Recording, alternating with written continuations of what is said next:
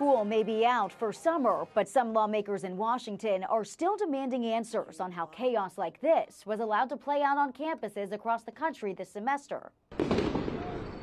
This was the University of California, Los Angeles earlier this month when dueling protests between pro Palestine and pro Israel students turned violent.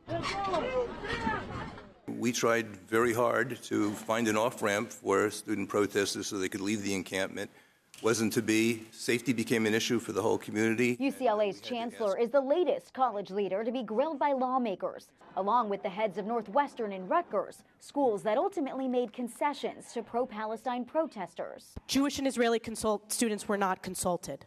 Jewish and Israeli students were not consulted exactly. with respect to Yield the back. agreement. Exactly. And it Yield would have been back. impractical to do that. It's the fourth congressional hearing on college anti Semitism, and they're known to get heated. Testimony from Columbia's president in April inflamed campus protests, while other hearings ultimately led to the presidents of Harvard and Penn resigning. Those who are in charge of universities who negotiate with pro terror protesters are not doing their jobs. Republicans are mostly driving this effort, while some Democrats say it's just adding fuel to the fire. Complaining about a problem is not a solution. Certainly, it certainly riles people up, generates a lot of media coverage, but it doesn't solve anything.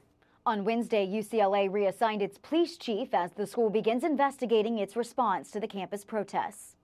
In Washington, Rebecca Castor, Fox News.